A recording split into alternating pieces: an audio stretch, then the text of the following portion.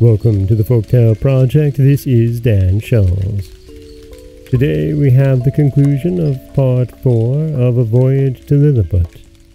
Our hero has, well, taken care of the fleet, but has earned the ire of the Emperor for rejecting a call to exterminate his opponents. This is part 4, again, of A Voyage to Lilliput.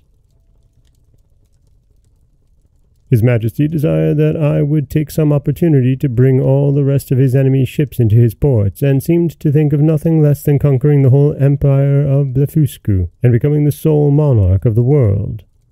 But I plainly protested that I would never be the means of bringing a free and brave people into slavery, and though the wisest of the ministers were of my opinion, my open refusal was so opposed by his Majesty's ambition that he could never forgive me. And from this time a plot began between himself and those of his ministers who were my enemies, that nearly ended in my utter destruction. About three weeks after this exploit, there arrived an embassy from Blefuscu, with humble offers of peace, which was soon concluded on terms very advantageous to our emperor. There were six ambassadors with a train of about five hundred persons, all very magnificent.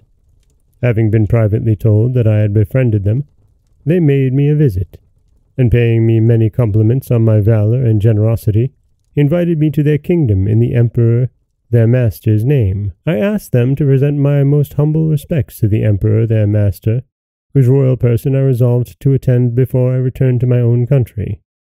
Accordingly, the next time I had the honor to see our emperor, I desired his general permission to visit the Blefuscudian monarch. This he granted me, but in a very cold manner, of which afterwards I learned the reason. When I was just preparing to pay my respects to the Emperor of Blefuscu, a very distinguished person at court, to whom I had once done a great service, came to my house very privately at night, and without sending his name desired admission. I put his lordship into my coat pocket, and giving orders to a trusty servant to admit no one, I fastened the door, placed my visitor on the table, and sat down by it. His lordship's face was full of trouble, and he asked me to hear him with patience in a matter that highly concerned my honour and my life. You are aware, he said, that Skyresh Bolgolam has been your mortal enemy ever since your arrival, and his hatred is increased since your great success against Blefuscu, by which his glory as admiral is obscured.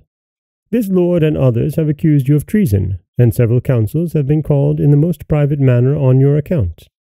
Out of gratitude of your favours, I procured information of the whole proceedings, venturing my head for your service, and this was the charge against you. First, that you, having brought the imperial fleet of Blefuscu into the royal port, were commanded by his majesty to seize all the other ships, and to put to death all the Bigendian exiles, and also all the people of the empire who would not immediately consent to break their eggs at the smaller end.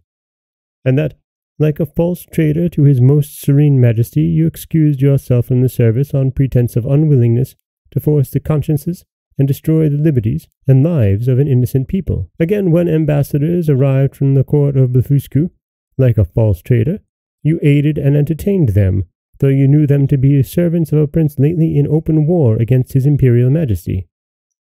Moreover, you are now preparing, contrary to the duty of a faithful subject, to voyage to the court of Blefuscu. In the debate on this charge, my friend continued, His Majesty often urged the services you had done him, while the admiral and treasurer insisted that you should be put to a shameful death. By Reldresal, Secretary for Private Affairs, who has always proved himself your friend, suggested that if His Majesty would please to spare your life and only give orders to put out both your eyes, justice might in some measure be satisfied. At this, Bolgolam rose up in a fury, wondering how the secretary dared desire to preserve the life of a traitor, and the treasurer, pointing out the expense of keeping you, also urged your death. But his majesty was graciously pleased to say that since the council thought the loss of your eyes too easy a punishment, some other might afterwards be inflicted.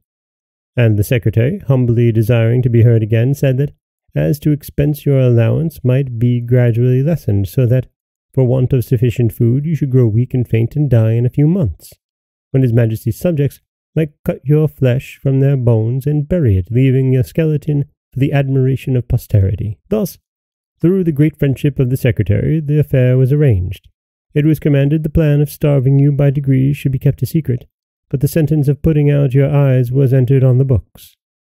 In three days, your friend the secretary will come to your house and read the accusation before you, and point out the great mercy of his majesty only condemns you to the loss of your eyes, which he does not doubt you will submit to humbly and gracefully. Twenty of His Majesty's surgeons will attend to see the operation well performed by discharging very sharp pointed arrows into the balls of your eyes as you lie on the ground. I leave you, said my friend, to consider what measures you will take, and to escape suspicion, I must immediately return as secretly as I came. His lordship did so, and I remained alone in great perplexity. At first I was bent on resistance, for while I had liberty I could easily with stones pelt the metropolis to pieces. But I soon rejected that idea with horror, remembering the oath I had made to the Emperor and the favours I had received from him. At last, having His Majesty's leave to pay my respects to the Emperor of Blefuscu, I resolved to take this opportunity. Before the three days had passed, I wrote a letter to my friend the secretary telling him of my resolution, and without waiting for an answer went to the coast, and entering the channel, between wading and swimming reached the capital port of Blefuscu, where the people, who had long expected me, led me to the capital. His Majesty, with the royal family and great officers of the court, came out to receive me, and they entertained me in a manner suited to the generosity of so great a prince. I did not, however, mention my disgrace with the Emperor of Lilliput, since I did not suppose that prince would disclose the secret while I was out of his power. But in this it soon appeared I was deceived. And that is the end of the penultimate chapter of A Voyage to Lilliput. When next we rejoin, we will hear the conclusion.